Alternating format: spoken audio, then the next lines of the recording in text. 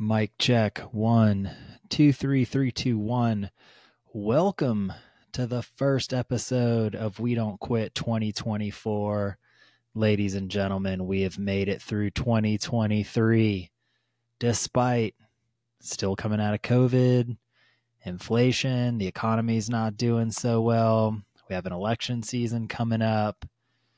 Got two wars going on Ukraine and Russia, Israel, Palestine, just all kinds of stuff going on in our world.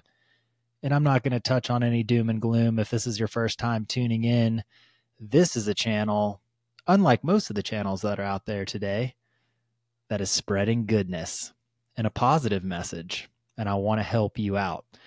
In order to help you out, we got to talk about some things that are not so great to figure out where the problems lie.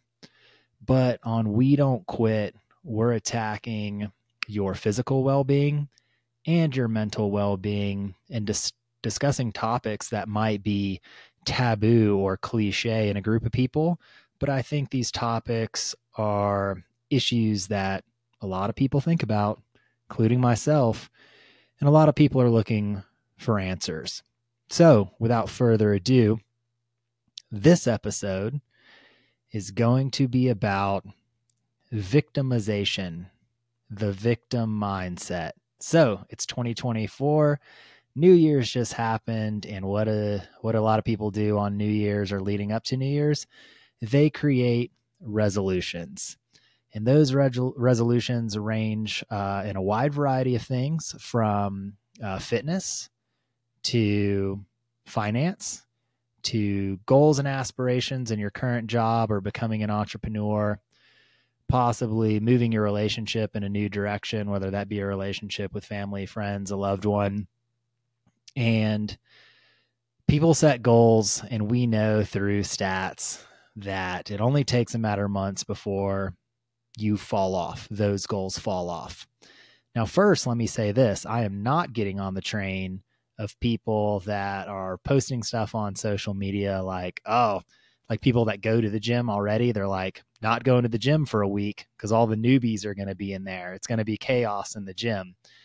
I think that's the wrong mindset and the wrong message we should be putting out. I think anybody that steps foot in the gym or a new realm in their life at the new year, it at least shows that they're trying because at least those people made it to the gym. Some people create resolutions, they get super hammered on New Year's Eve and they never even start step one toward their goals. So for you, men and women that made it step one, you joined a gym or you signed up for some kind of workshop that has to do with your job or entrepreneurship, or you joined a book club, uh, or whatever the case may be, congratulations to you.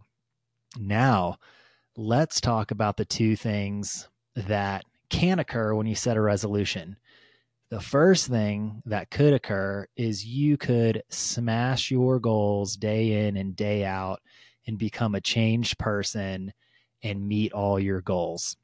And let me tell you, that's not going to happen. It's not going to happen. Without a doubt, it's not going to happen. So, for all of you that are scared that you're not going to reach your goals instantaneously, you are not alone because everybody is in your same boat because nobody is going to achieve their goals without any roadblocks because all meaningful goals aren't a 30 day challenge like a 30 day no drinking challenge or a paleo or a whole 30 diet those are all fun and fine and good. And I've done those before, but they're only temporary. So these big goals that we're talking about, the goals with your lifetime of fitness, the goal of a job change or working your way up the corporate ladder in your current job or becoming an entre- entrepreneur, these are goals that are take going to take years and nobody makes it through unscathed. So that should give you confidence and some peace of mind that you're not alone.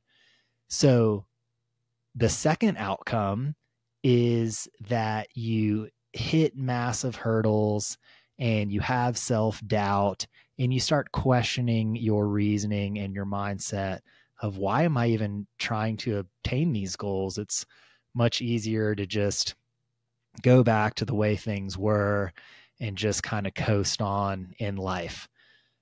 Well, here's where that road splits into two. So we've already identified that road one or outcome number one is not achievable. So now everybody fits into outcome number two.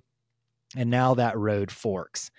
And it forks into two things it forks into the person that is going to be resilient and they're going to hunker down and they're going to realize that there's going to be bumps in the road or you're going to become person number two which i don't want you to become and what we're going to talk about and how not to become that individual is people that start to not achieve their goal or not achieve results in the timely manner that they expected, which, by the way, their timeline is skewed and their time horizon is not long enough. And then these individuals start playing the victim card. And the way that I'm going to explain this is in previous videos, I've mentioned my personal pillars. Pillars are things, everybody has pillars, even if you've never heard the term.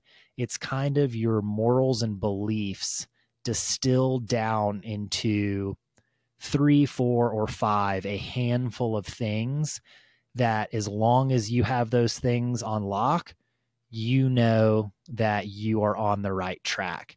So for me, I use F4, which is faith, family, fitness, and finance. And if you've never seen any of my videos before, don't let me scare you away with the faith part. I'm not a Bible thumper. I'm not going to beat you over the head with a religious stick. Faith is a can be in a non-religious context, um, a belief in something great, a greater outcome that has already occurred. If you are religious, that's great. You can put that in the context of Western religion or whatever religion you uh, believe in and a higher power that's helping you on that road to reach the desired outcome. So let's break down each one of those pillars and talk about how a person with a victim mindset might fall into a trap that is going to lead them to January 2025 starting all over again where you are right now, where you could succeed in the year 2024. So let's talk about faith.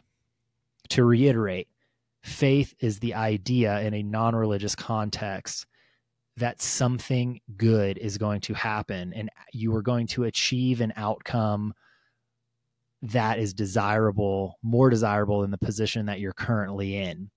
And what happens when you get the victim mindset is you have all these ideas and things in your head around New Year's, the people with New Year's resolutions of reinventing yourself, all the things that you don't personally like about yourself, whether you have some bad habits, some bad vices, um, some distractions, you're on your phone too much, drugs, alcohol, pornography, uh, just just naturally bad habits, and those bad habits could be in your mental too. They could just be whenever you come up against adversity, the first thing you do instead of looking at that ad- adversity as a challenge and enjoying the process of the challenge, you immediately see adversity as a brick wall, and all of a sudden you start why is this brick wall in front of me? The world is against me. Everybody's conspiring against me. Nobody's here to help. It's me versus the world. And then you lose that faith. You lose the faith in something greater happening. And then that is directly stems from your mindset changing, which let's say on New Year's Eve or January 1, you were just firing on all cylinders. You woke up when your alarm clock went off, you ate a healthy meal, you hit the gym, you journaled, you did a cold plunge, whatever, you know, the the trend of the day is and everything's great on January 1st, but as the days and weeks start going by, little things start to drop off. You hit snooze a couple times. You're not going to the gym every day. You're not journaling anymore. You find yourself eating the same old garbage that you were eating before. And then you look in the mirror, and instead of looking at yourself and questioning your own actions, you start to play the victim card, which would sound something like this I don't have enough time to go to the gym because my work schedule is just too busy, or I have a newborn, or I already have multiple kids and their schedule is too busy. I get to bed late at night. That's why I'm hitting snooze in the morning. The reason my nutrition is not on point is because it costs so much more to eat healthy food and it takes more time to make a healthy meal instead of just stopping and get fast food. And you start working your way down this rabbit hole, that this chain of woe is me to try and justify why you're not doing something when in reality it's all you. It's all your actions you are choosing to watch TV or doom scroll on your phone for an hour before bed, which causes you to be more tired or get less good quality sleep. Therefore, you hit the snooze button in the morning, which leads to you not making it to the gym or not having time to make a good meal when you could have meal prep the night before. Or you spent Sunday doing Sunday fun day, watching football, watching the game, you know, drinking all day to close out the weekend when you could have spent an hour or two prepping for Monday of work, which would have taken a lot of load off your plate on Monday. So you would have had less stress on Monday and you could have hit the gym with a clear mind saying, Hey, I already got a jump start on the work week. So I can enjoy this hour of the gym. And then when I get to the office, I'm already way ahead. So don't play the victim card. Now let's move to family. So faith, family, and with family, I'm going to say slash friends. So family and friends. Look, with a new year, it's time to take full stock of the people that you surround yourself with and ask yourself honestly is this person in my life a value add or are they a value suck like a vacuum? Not that these people suck, but you hear this time and time again in uh, podcast and self-help books and it's it's so easy for human beings in our primal nature to feel comfortable around the people that we've surrounded ourselves with for years and those people that you've surrounded yourself for years which might be what you consider your core friend group they might be unhealthy they might be toxic to your goals.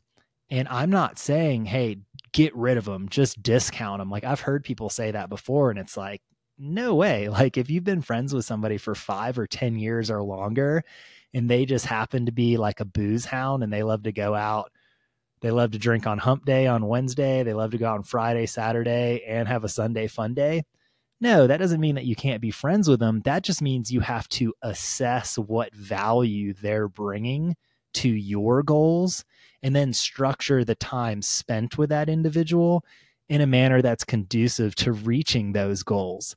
So if you have a friend that doesn't understand, so the first part of that is you have to verbalize to that friend your intentions clearly.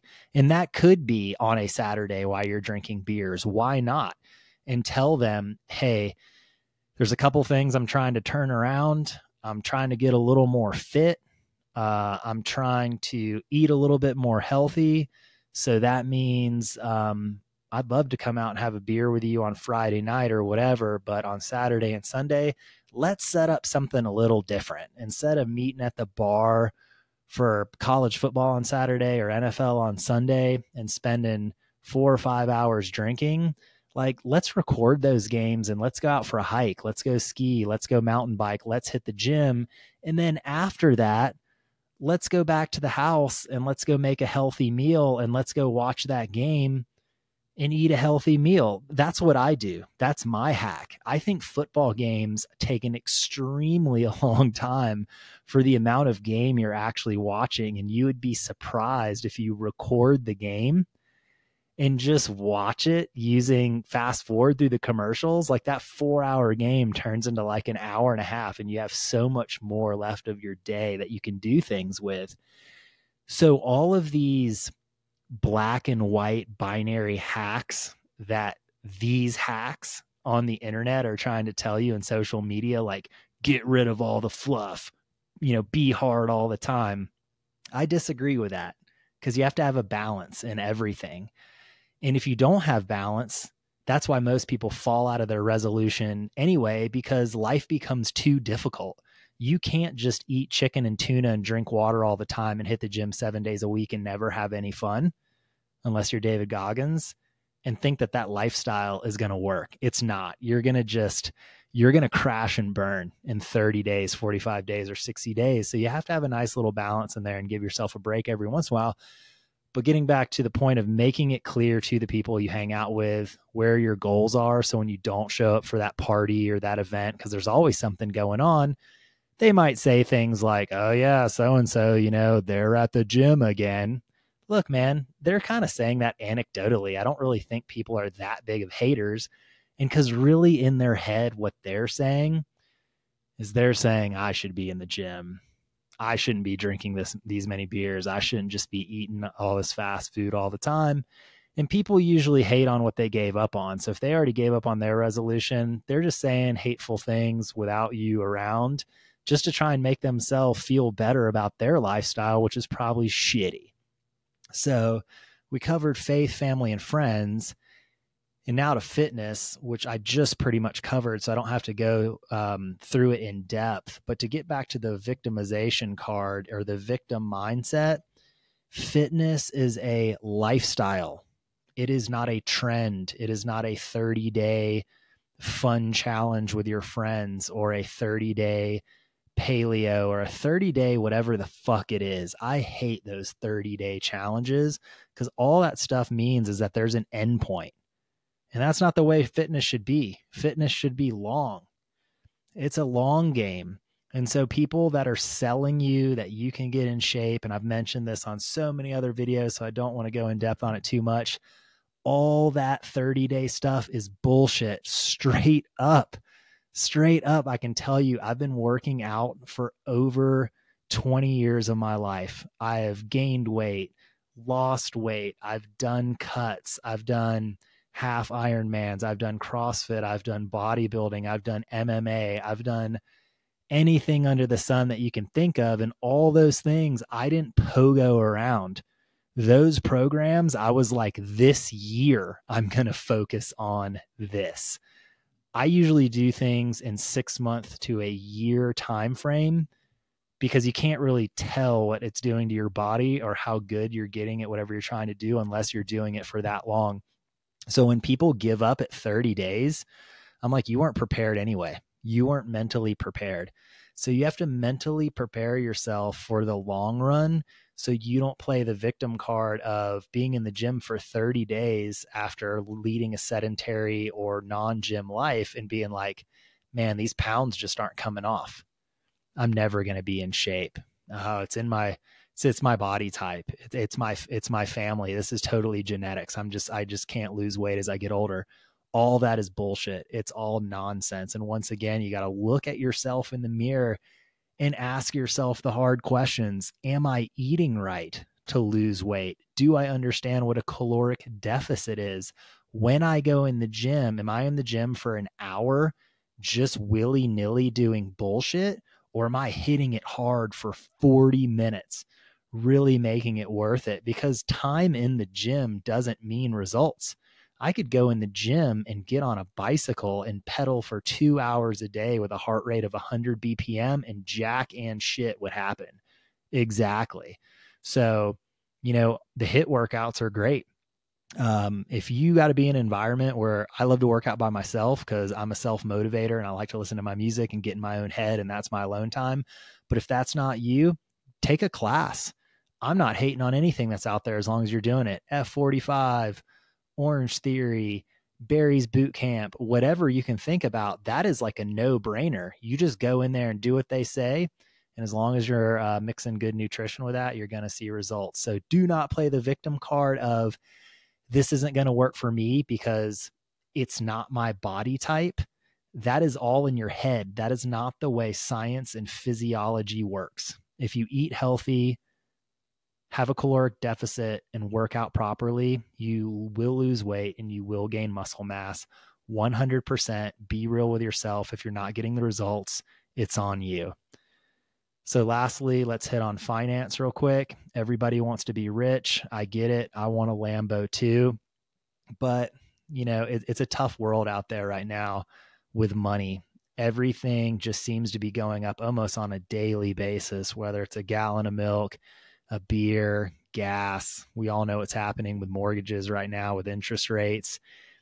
It's really easy to think that you're never going to be successful and get the amount of money that you desire.